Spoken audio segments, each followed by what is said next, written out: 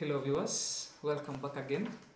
It is your teacher Roger Michira, ready to take you through develop, uh, the formation of uh, the, the formation structure and functions of government.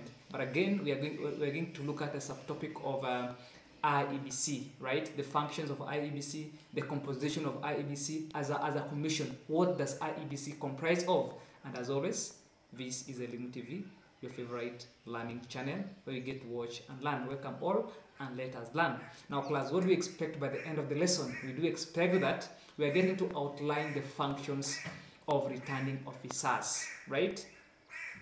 What are the, some of the functions of returning officers? You have seen you, you have seen these people who take who take charge in a, in a, in a, in a, during election, right? Those who give nomination papers, right? Those who those who count, right? Those who, who do the tallying, right? Now today we, we, we get to start with the returning officers. Welcome all and let us learn.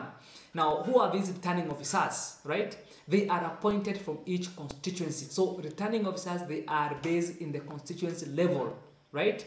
And what are their roles? One, they get to receive nomination papers from candidates, right? Now, the first thing for a candidate to be declared, right, that you want to run for political seat, you must be uh, certified you must be you must be certified by IEBC. In that case, you must uh, uh, submit your nomination papers. Let IEBC get to verify you, right? Let them get to know who you are. Then from that, you you, you, you receive you receive a confirmation from IEBC that you are running for political seat. So the first uh, function of uh, the returning officers is to receive nomination papers from candidates. Now look at that. Good you can look at that uh, there's the returning officer who has a a t-shirt of IEBC right with the IEBC logo right? Then he's holding a, a paper and you can see Mwangi wa Iria right governor of of um, of receiving his nomination paper. Then also in the second image you can get to see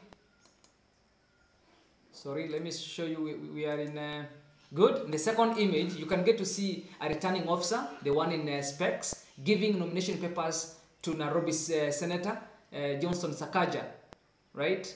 You can see you can see that. Now that's the work of uh, returning officers. They get to give nom- or they receive nomination papers from candidates. They also distribute election materials to polling stations, right? They are responsible for distributing election materials to polling stations. For example, you can see that now they're setting the ground for everything, right? They're setting the, the, the ballot paper, uh, the, the ballot boxes to be disputed to each and every constituency. And also, they get to tally and verify results, right?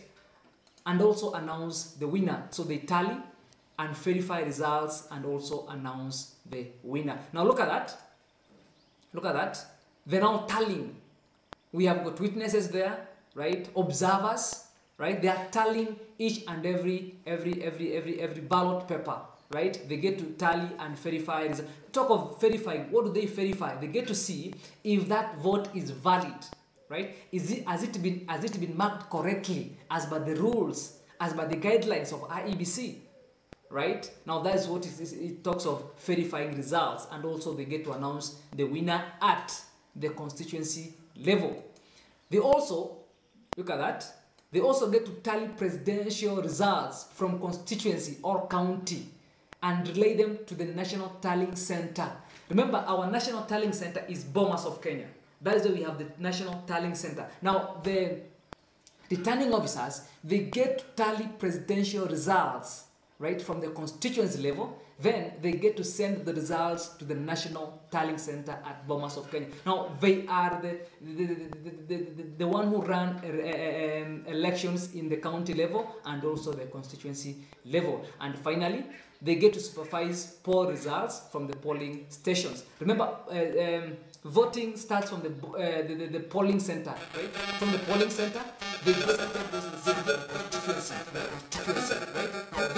People who are responsible for, uh, for, for, for supervising the poll results from the polling centers, right? Or, or, or rather from the polling stations to the constituency polling polling center. From there, they get to relay the the, the votes to the National Tallying Center. Now, class, we have just looked at the functions, right, of the returning officers. And we have said that these are people who are based in the constituency or county level. And you have looked at a number of uh, functions, what they do.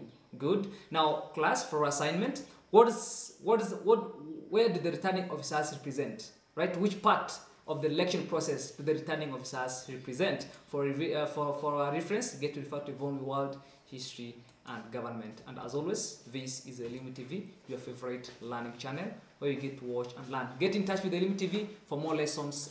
Thank you so much and see you in the next class.